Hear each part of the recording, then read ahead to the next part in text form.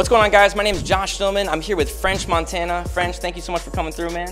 Um, thank you for having me, man. I was talking to a lot of my coworkers, my friends, leading up to the event, and we were talking about you know the craziest party stories that we've had. So I'm curious, like, what is the craziest party story that you have? Man, I got this real funny one that, you know, it sticks out of every story I ever had, like my whole career.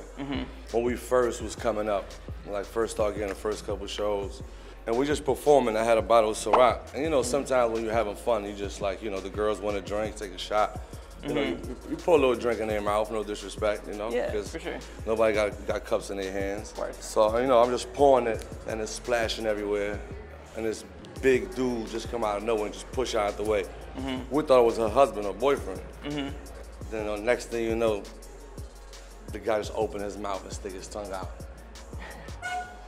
Okay. Guess what I did? What? Ciroc, and it's splashing everywhere, and she's just standing there looking at him like this. You grew. you know, so that's like one of the, one of my favorite stories ever. It goes to show you, you know, guys and girls want to have fun. For sure, of course. I mean, you're known, I think, primarily as uh, someone who does music, but you also have some movies, right? You've Yes. After Party Yes. coming out, or in the works. Yeah, yeah, definitely. I just um executive produced this new movie, Respect the Shooter. So, you know, hopefully it drop this year. We just, you know, waiting till everything come together. Okay. Can you tell us any more about the the project, like who's gonna Yeah, be yeah, in it? or- definitely, man. Yeah. Um, we got Michael K. Williams. He's like one of my favorite actors. Got Chris Brown in it. Got Fabolous in it. Got Chinx in it. Got Snoop in it. Got you know a lot of people. Okay. So where, I mean, if you don't mind me asking, like, where does one acquire a monkey and tiger? Like, I'm, I'm guessing you didn't go to PetSmart for that. No, I mean it was like you know Hangover the movie, Yeah. but it was in real life. Like I really just woke up and went to the jet and there was a monkey there. After somebody somebody promised me a monkey for my birthday, then I was like, you know, you know I still want that monkey, right? Yeah, yeah. Then you know I woke up um, after a long night in Vegas and it was just a monkey in the jet. And I was just like, like Hangover was like real life Hangover, like part, Yeah, yeah. part 28. 28. Okay. So I, I like. I feel like you would be someone who'd be really good to play like two truths and a lie with. You want to play? Let's do it. Yeah. You, you say the first three about you. Oh, you want me to go first? Okay. sure. Okay. Let's see. I went to four different high schools. Okay. Second, I once lived in New Zealand. Hmm. And the third, I used to own tree frogs. You used to own tree frogs. That's a lie. Lie. Nah.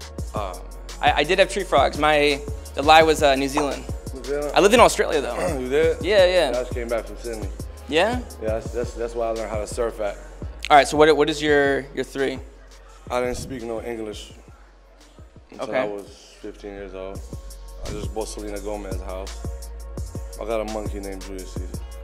I know the second one's true. Third one's true. I'm gonna go with the first one.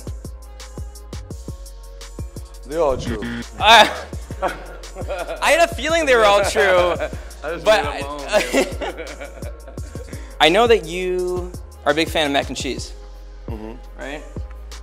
Um, where can I get the best mac and cheese?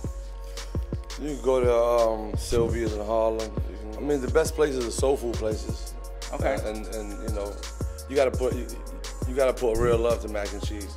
You also come off as like a guy who seems like very like smooth when it comes like with dating. Would you say that? You're good with like when it comes to girls? I think so. Yeah. I was wondering if you could give me some some advice. I mean, what are you looking for first? All right, let's say there's a girl that I really like, Uh huh. but she doesn't know. What's what's the best way to go about letting her know? Just to let her know. Just just be straight up. Yeah, let her know. Okay. All right. You know, I'll, I'll, I'll tweet you. I'll let you know how it goes. don't all rush into nothing, huh? No? It's All hard right. to get out. Fair enough. Fair enough. Yeah. And then if it doesn't work out, I'm gonna take you to the strip club with me, and it's gonna work out that night. Okay. Wh- Whoever you like. I'm gonna, I'm gonna hold you to that. yes. Okay. Well, French, thank you so much for coming through. Thank you for having me. I me. really appreciate it, man. Thank you for having me. All right, guys. I'm Josh Stillman. This is French Montana. Thanks for watching.